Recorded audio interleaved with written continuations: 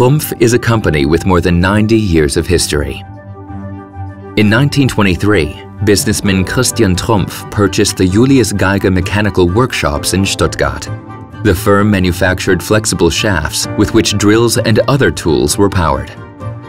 The company grew rapidly and soon had to relocate to new manufacturing facilities in Weilimdorf, a suburb of Stuttgart. The product line expanded just as rapidly. Initially, motor-driven shears designed specially to cut sheet metal were added, and beginning in 1947, Trumpf manufactured curve shears, the predecessors to today's punching machines. In marketing efforts too, Trumpf was well ahead of its time.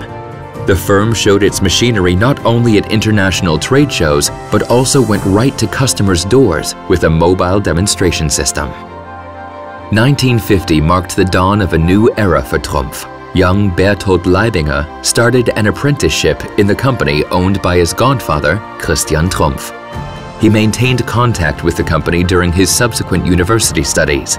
Ultimately, he wrote his final paper there. Its subject was improving the cutting process for curved shears, and it revealed a genuine innovation. The coordinate guidance system was soon introduced to all the Trumpf machine tools, this was the first step towards numerical control.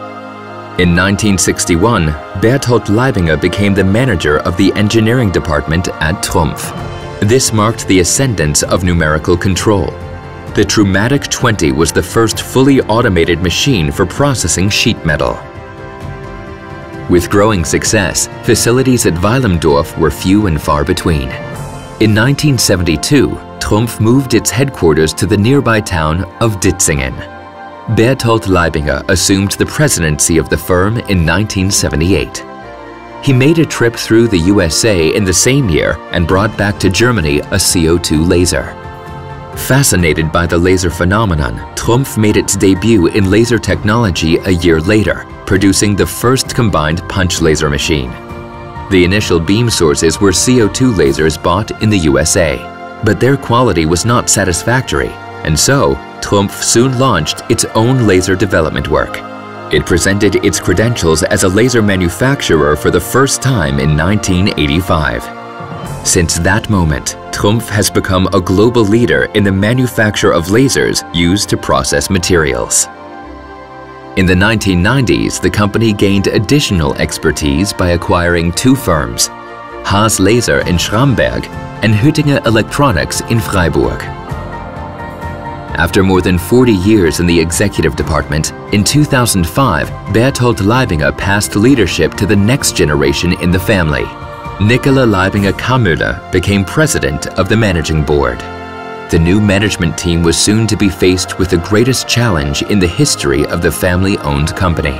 In the wake of the global economic crisis in 2008, sales at Trumpf fell almost to half of previous levels. Thanks to innovative products, modern schedules for working hours, and a major effort by the employees and owners, Trumpf quickly overcame the drop, virtually without layoffs. Also contributing was the fact that, ever since the 1960s, Trumpf has been present in all the world's booming markets. The most recent step, in 2013, Trumpf was able to purchase JFY, one of China's leading mechanical engineering companies. Today, Trumpf is a corporate group with an international approach. It employs more than 10,000 people around the world, a family-owned company that offers its customers top quality and has done so for more than 90 years.